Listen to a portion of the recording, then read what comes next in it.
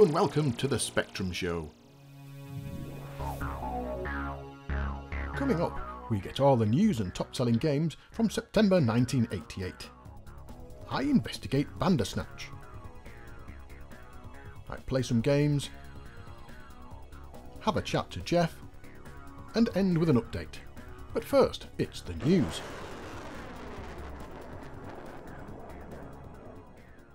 Amstrad are said to be launching a new Spectrum computer very soon. Named the Sinclair Professional, details are very sparse, but some industry people claim it will be a mistake if Amstrad stick to the Spectrum model. Alan Miles from Miles Gordon Technology said it would have been better to move to the 68000 processor, as there's no market today for a Spectrum computer. The only details available, apart from the suggested name, is that it will have CGA style graphics and resemble the Amstrad CPC range staying with Miles Gordon Technology, and they're about to launch the SAM micro home computer that's also Spectrum compatible. Criticising Amstrad for not knowing the key audience, they have taken the bits from the Spectrum and their own interfaces, like the Disciple, and brought them together to produce a new micro they hope will fill the gap in the consumer market. The new machine will have 256k of memory, all of which will be available all of the time, 64 colours, different screen modes including a Spectrum one, and one that can handle 80 characters, better sound, and a new basic language. All of this plus it can play Spectrum games too. Sounds like a winner to me. Powerhouse, the once budget arm of CRL, have gone into liquidation. Initially part of CRL, it was split off a while back, with my favourite person, Ashley Hildebrandt, taking the managing director role. Powerhouse have been in trouble for a few months now, as have CRL, but Hildebrandt kept putting out press releases making false statements about how the company were doing. It's now come back to bite them, and the company's closed its doors finally this month. Typically, Hildebrandt was unavailable for comment. US Gold have signed a deal with Pepsi Cola to produce a series of games around the Pepsi Challenge. The first game will be called Mad Mix, and included inside will be a voucher holding a set score. If you can beat that score, you can enter a free prize draw to win US Gold and Pepsi goodies. And finally, I've been waiting for this month to come for a long time. With modems becoming even more popular, some magazines introduced new sections to cover the growing number of bulletin board systems. Popular Computing Weekly covered two systems, one of them run by someone you might recognise. And that was the news, and now on to the top selling games. At number 5 is Boogie Boy from Elite. At number 4 we Are the Champions from Ocean. At number 3, Outrun from US Gold. At number 2, Target Renegade from Imagine. And at number 1, Football Manager 2 from Addictive. And that was the news and top selling games from September 1988.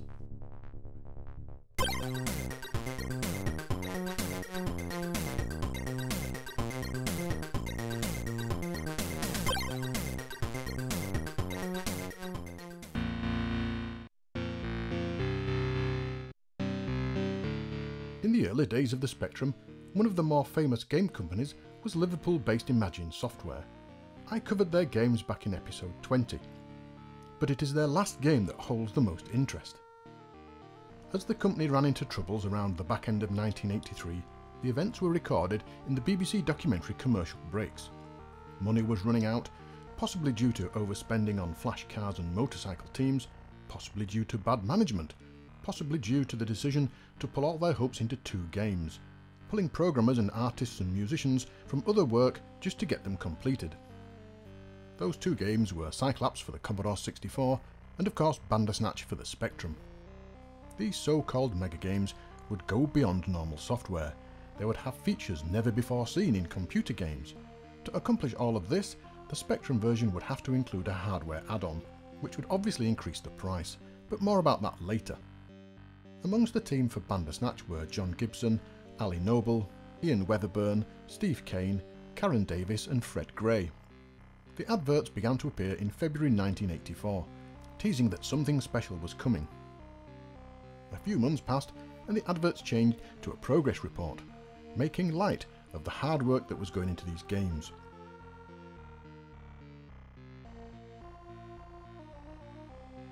Another month passed, and the next advert changed to announce reinforcements had arrived. Were things not going as well as expected, or was it just another marketing ploy? By the middle of the year, the adverts again changed, this time to just a white page with two logos. Progress was obviously not happening, or the marketing team had run out of ideas. Game players, though, were still excited. If all the promises were true, Bandersnatch would surely be a brilliant experience. John Gibson, the lead programmer, whose previous games included Molar Maul, Zoom and Stonkers, when interviewed did acknowledge the game was not all hype, and that it would have been revolutionary for the time. It was a 176k game, and this extra memory would come in the form of a 128k add-on.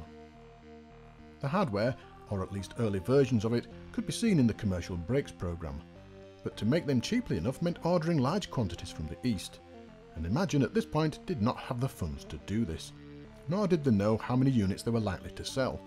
This left them in no man's land, yet another delay. However, at the time Imagine went bust, only 50% of Bandersnatch had been written, and they had already used all of the memory available. This would have meant a major rethink about the design of the game. The additional memory was reported to have put the game price up to about £60, and this was at a time when average games were costing just 5 So what was this game? What was it like?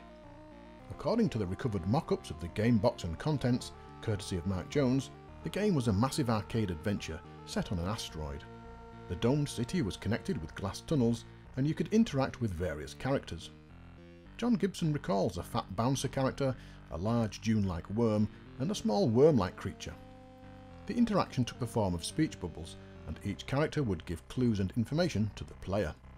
Bandersnatch was what we would call today an open world game. Player could make their own path through it and all items, objects and scenery could be interacted with. The player could, for example, try and kill as many things as possible, or go on quests to collect treasure. The way the game played would be down to the individual player, rather than having set objectives. The game area was a mining colony, inhabited by a small number of beings with a limited and vicious police force. The game concept documents call it a Blade Runner-like atmosphere, with thieves, gamblers, miners and renegades dressed in Blake 7 style clothing. You play a wanted criminal, tracked by the Galactic Police, but what you did from that point on was totally up to you. A bold idea then for the Spectrum. As time marched on, it was clear the company and the game were in trouble. Imagine had tried to persuade Sinclair to buy the whole company and the games, but there was no deal to be had. The company accounts were in a mess and the directors were arguing amongst themselves and looking to move on as quickly as possible. Several court orders were in place, and the only hope now was on the Mega Games. Sadly, it was all too late. The games were never finished, and all we have is short glimpses from the documentary and the box scans. Prior to Imagine going bust, a company called Finchspeed was set up by Imagine directors Dave Lawson and Ian Hetherington. Did they know something was about to happen? The company's aim was to acquire all of the collapsed Imagine's assets, including games, and the Mega Games. Imagine was split in half. Finchspeed offered jobs to the teams behind the Mega Games, while the remaining staff were left high and dry. Finchspeed then began to work on the QL version of Bandersnatch for Sinclair Research, a game never to be released. But parts of it went into a new game and a new company, Psygnosis. Their first game was Brataccas, credited as being very similar to the original Bandersnatch. The QL version was recently recovered from development microdrives in 2017, but the game is only partly complete. It can still be loaded and a few screens visited, but it's not stable and is easily crashed.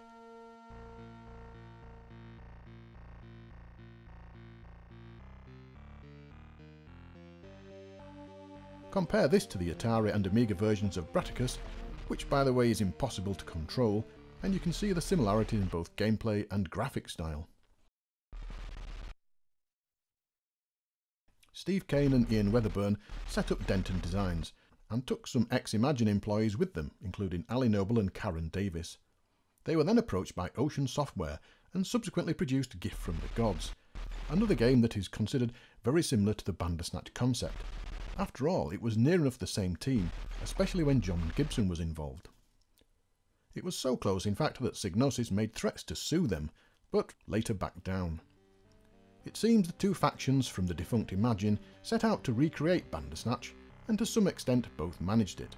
They could not use the exact game or the name itself, as this belonged to the Liquidators, but they used the ideas and routines originally planned to be implemented in Bandersnatch. Bandersnatch will probably always be something of folklore. We will probably never see it. But it did spawn some good games and companies from the ashes of Imagine.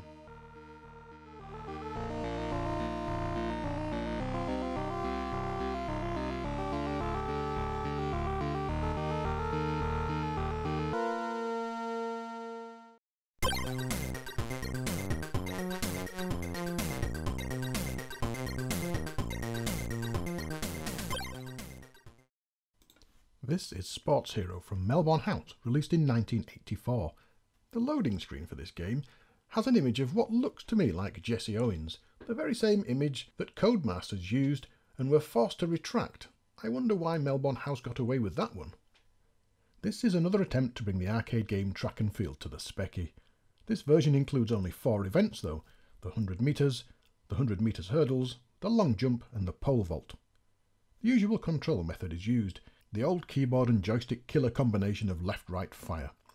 The first event then, and we pick our level, I'm going for Street Runner here. The other levels are just harder times to beat, and different scenery in the top left window. You walk up to the line in silence, wait for ages, and then with a weak pop sound, you're off, stabbing wild at the keys, and hopefully you'll get to the end and qualify.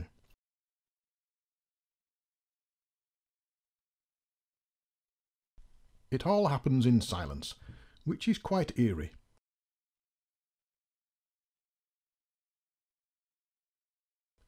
The hurdles come next, a bit of key stabbing, and you press fire when you reach the hurdles. This is tricky to guess though, and often sees you tripping up. You have three attempts at each event, and even if you fail, you can move on to the next one.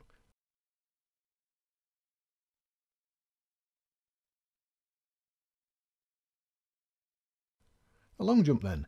Lots of key stabbing again until you get to the pit. You press fire to plant your foot, keep it held down and then release when you're at the right angle. And hopefully you won't end up with your head stuck in the sand.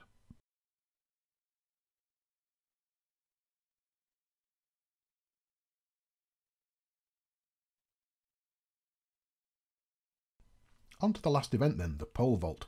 Lots of key stabbing, hit the fire key to drop the pole, and you're supposed to release it when you're at the very top. However, I've never managed to get this one. I can do the others, but not this one. And if you succeed, the crowd go home. Mm. Even in the Olympic mode, the crowd are just silent, even if you break a record. The top left-hand section of the screen changes depending on the mode you're in, and if you go into the second level, there are lots of drunk people lying about all over the place. Where is the sound in this game? Why is there nothing apart from the weak starting gun sound? This is terrible. And this is what lets it down. And I'm very disappointed, especially coming from Melbourne House. Why did they think it was okay to release a game without any sound? Oh well, another one for the shelf then.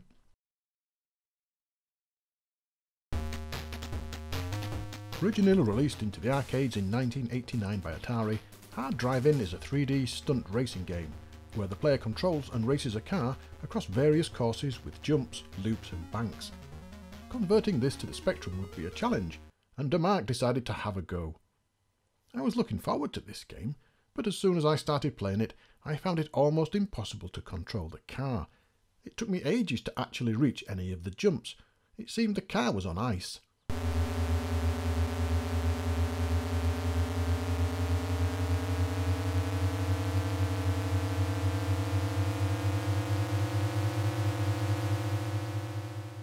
Veered wildly about, and the frame rate made things worse. The other cars on the road, although you could see them coming, were impossible to avoid unless you went off-road, which slowed you down, and sometimes you can get hit by cars overtaking you.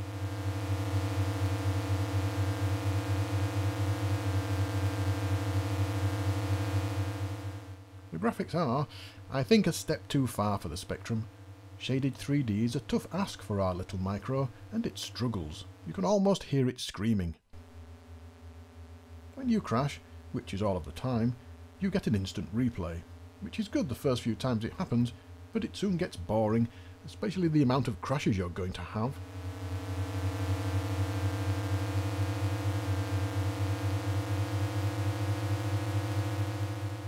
Sound is used well, with a nice engine sound, but it's the controls that let this game down. It's almost as though the Spectrum is struggling to keep up with the graphics and forgets to check the controls. It then picks up three at once and sends you spinning off to the left. You then try to counter, but nothing happens for a while, and then you go spinning off to the right, even at low speeds.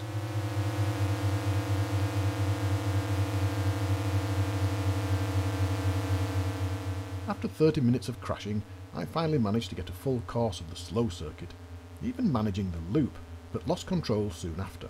And luckily I wasn't recording at that time, so you'll never see it. You have to get used to the delay in the response. I think that's the trick in getting used to this game. However, this is tricky when there's a lorry coming straight for you, or you're about to fall off the loop.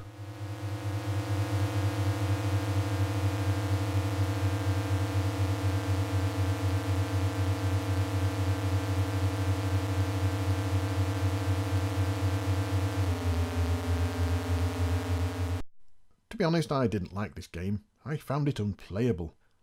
I can see the challenge, but it's the wrong one. It should not be the challenge to use the controls, which sadly this game is. A high profile game then, that for me doesn't deliver.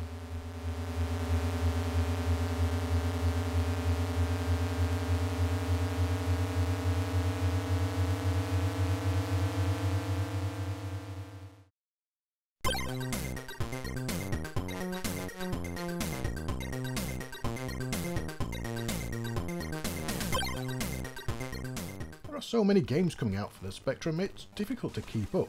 So here's a quick roundup of some notable games.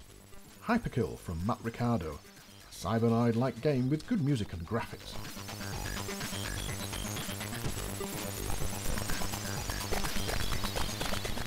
Twin Light from Retro Souls, a game very similar to Deflektor with great music and challenging gameplay.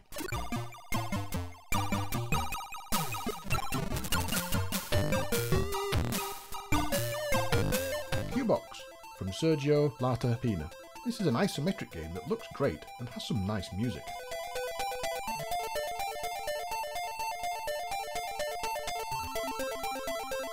The Incredible Shrinking Professor from Rucksack Games, a platformer with AY music and good graphics again.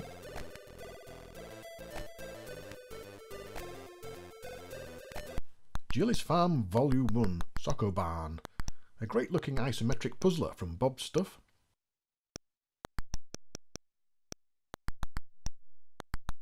Mighty Final Fight by Sashez, a great version of the popular fighting game on the Spectrum with great graphics, and hopefully we'll have a review of this coming soon.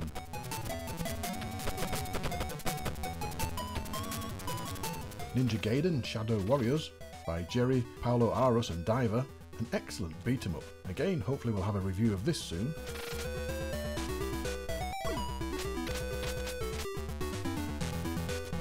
Roused from Kevin Turvey, a great version of the arcade game Joust, and great playability.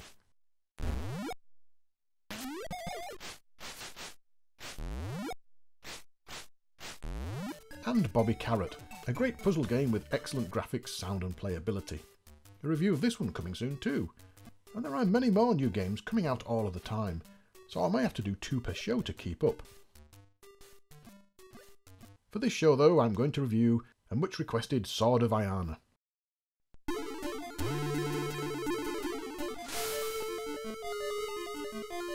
This is a massively impressive game from RetroWorks. It was released in 2017 and is an absolutely fantastic game. You play a barbarian named Jarkum, who has been chosen to stop the return of the Lord of Chaos. After an impressive intro with great music, the game begins.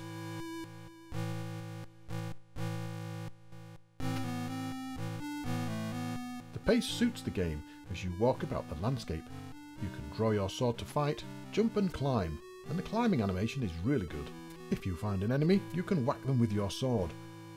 And you can also break down walls to discover items such as food.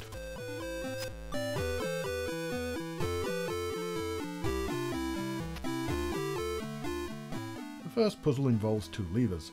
Once pulled, an exit opens up, but the jump across is very difficult.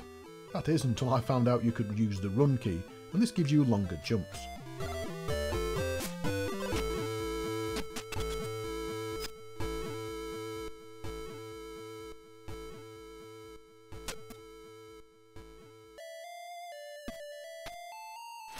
The game is huge, full of well-drawn scenery and sprites.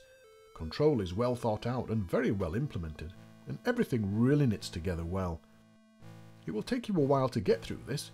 The RZX playback takes over two and a half hours to get through, a mammoth undertaking.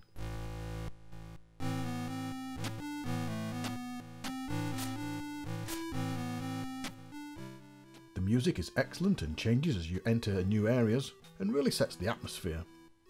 This is a brilliant game. It's so well presented and easy to play, but will provide you with a challenge.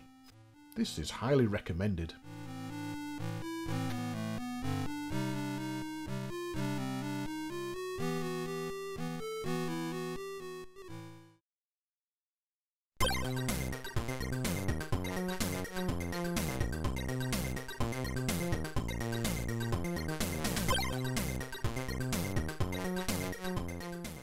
So companies, there were loads of companies, weren't there? What what were some of your favourites, Paul? For me, it was um, it was all the early companies that, that dragged me in because they each had their own identity. Um, and yes, some of them had their, their own programmers and their own programming skills, but um, companies like Artic and Bug-Byte and Imagine and Ocean were all favourites. For me, when they started selling, not selling out, but being bought out by other companies, I became less interested in the company and less interested in collecting the games, if you like. Hmm. Quicksilva and DK Tronics. I'm just looking at my game shelf now, looking at them. Silversoft, all they're all really the early 80s, you know, 82, 83, Yeah. 84 companies. Not Ultimate, because I'm a huge Ultimate fanboy. I really loved Ultimate games. Well, in, until I think Nightshade and Underwurlde. I don't like Underwurlde, but No, Nightshade, Underwurlde, and then they came back with Gunfight. Gunfight was good. but that, that they were they sort of sprang out of uh, of nowhere with, with the first four, and again it was it was the company that you know once you you knew that Ultimate were putting out a game, you you were you saved the money, you had the money before the game came out because you, you knew Yeah. it was going to be good because of the company ID. Yeah, I mean, Ultimate were, I think, my favourite. But Beyond were a good one as well. Beyond put some brilliant games out.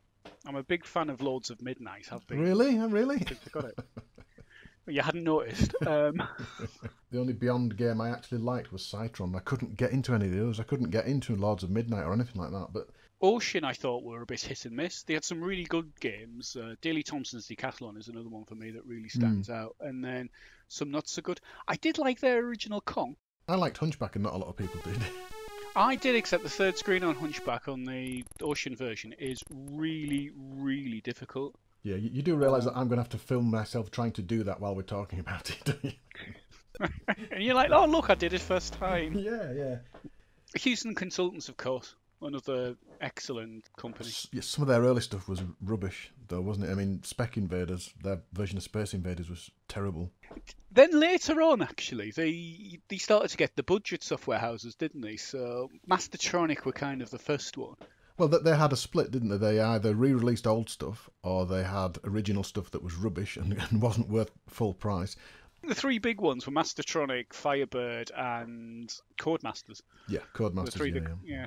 yeah. Um, Yeah. Another another thing that I liked um, or disliked, depending on which company you're talking about, is they either they, they tended to stick to one type of game, like Ocean usually did arcade games or, or action games, Hmm. and then you had the company that split, like um, Artic. They did a mixture of arcade games and adventure games.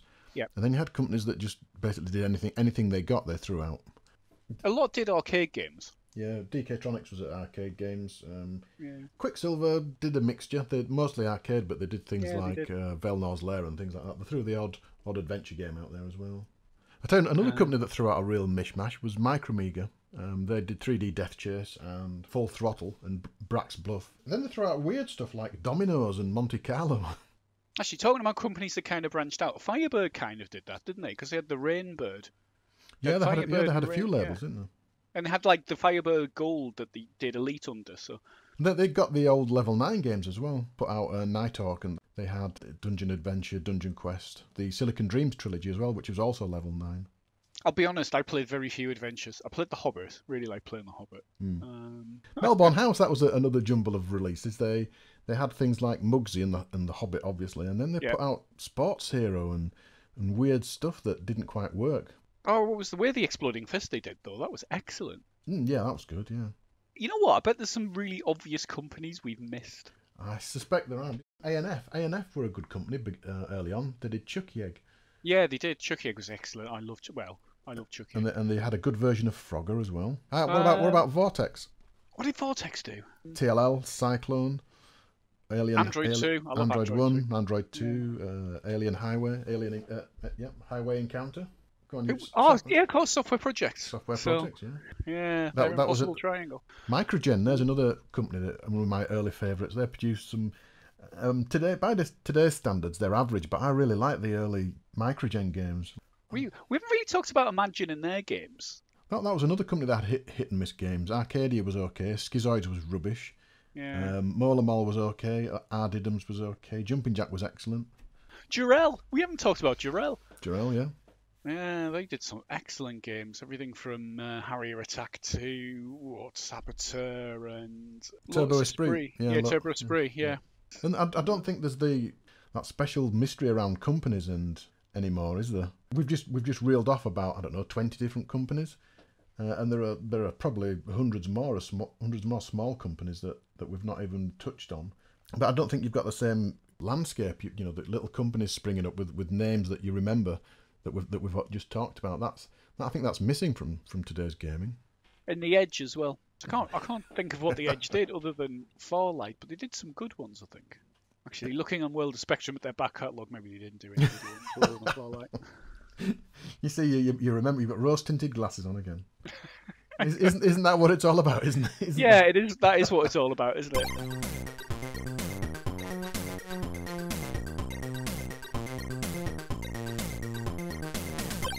This is 3D Death Chase, released by Micromega in 1983. I don't think this game needs much introduction. It's one of the all-time classic games, and it all fits into 16k of memory. The game gives mixed messages though, in that the cover displays some kind of futuristic hoverbike, while the loading screen shows a normal motorbike. Many people really wanted this game to be a recreation of the speeder bike scene from Return of the Jedi, and to some extent that's what we got.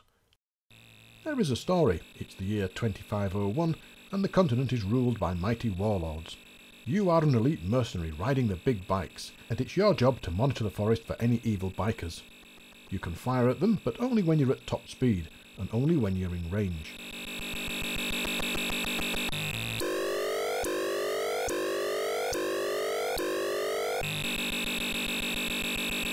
You hurtle through the trees, dodging left and right, and once you get them in your sights, you can blast them away. There are two riders per level, and the levels are split into night and day. Complete the level, and it gets harder as the forest gets more denser.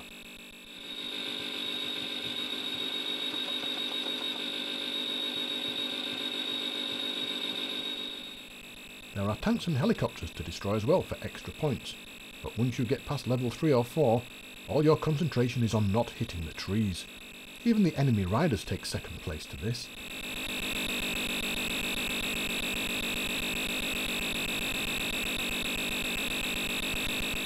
The game has you bobbing your head from side to side as the trees whiz past. This is just a fantastic game. A true classic.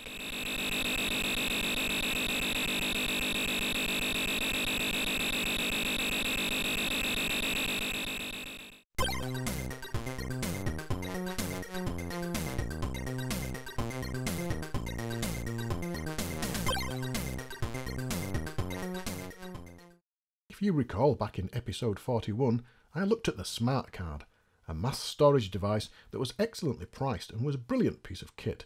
Since that review, the firmware has been updated several times with new elements that improve this great device even further. First is the file browser, or as it's called in the card, the Snap Loader. Because this card is not DivIDE compatible, it uses its own firmware, which luckily has been kept up to date, and the new Snap Loader has improved a lot since the first one. Apart from the fact it looks different, the biggest advantage is the support for long file names. This makes finding games much easier. It still works in the same way, you pick a game, press enter, and it will load. The next change is the NMI function. Pressing this during a game allows you to enter pokes or save the game back to the SD card as a snapshot. Entering pokes is easy. When you're playing the game, just press the NMI button and you're asked for a memory address and value to poke in. Once that's done, you can go back to the game.